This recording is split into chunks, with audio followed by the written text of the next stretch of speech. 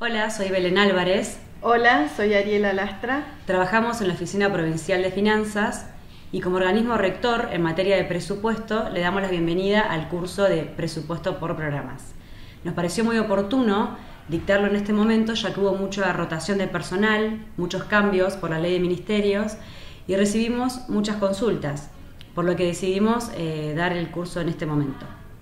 Eh, principalmente para refrescar, reflotar conceptos, eh, más que nada de que el presupuesto es una herramienta fundamental para el Estado, para su programación, para plasmar sus políticas públicas, tanto en la elaboración como en la ejecución del presupuesto, donde ahí se va viendo el paso a paso que se está haciendo, si es necesario hacer eh, ajustes, modificaciones en pos del objetivo que se persigue.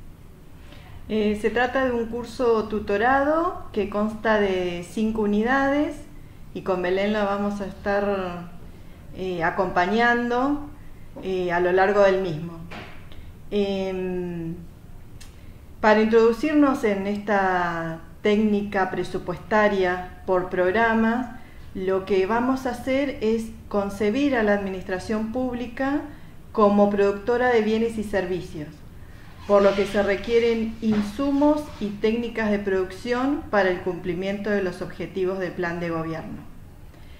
A través de ello vamos a llegar a la definición de lo que es un programa, un subprograma, qué son las actividades, qué son los proyectos y qué son las obras.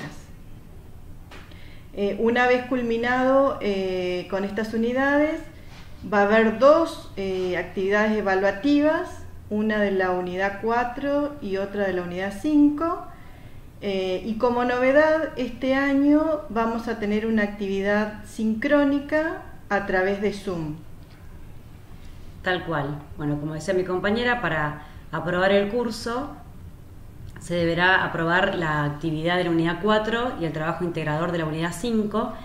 Y si bien no es obligatoria la reunión sincrónica, el Zoom, eh, la verdad que los invitamos, es muy interesante que puedan participar, porque además de comentarles y explicar las, pautas del trabajo integrador, vamos a hablar bastante del tema del cronograma del presupuesto 2025, que bueno, está bueno para desglosarlo un poco y traducirlo a nuestras palabras para que ya quede más claro el trabajo que en poco tiempo vamos a empezar todos.